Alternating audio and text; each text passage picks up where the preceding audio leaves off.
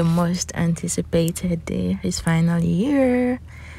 Today is the Thanksgiving service of the most prestigious girls' high school in Sierra Leone. Yes, the Methodist Girls High School. And I decided to make some noodles and do some other preparations before heading for the service. So stick it just a simple breakfast. Um,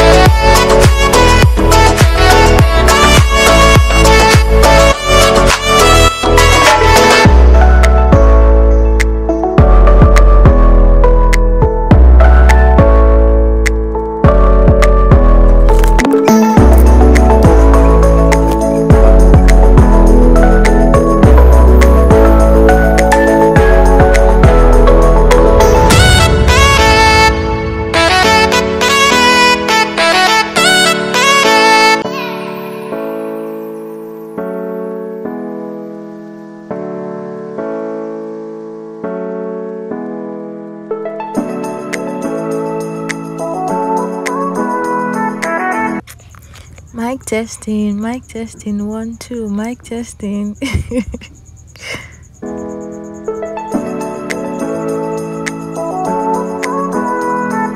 I decided to take a short but cute video. Can you see my beautiful hairstyle? Unfortunately, I had to wrap it all up because one of the marshal told me that that hairstyle wasn't acceptable and it was my first time, so I had no idea. But hey, we're still good.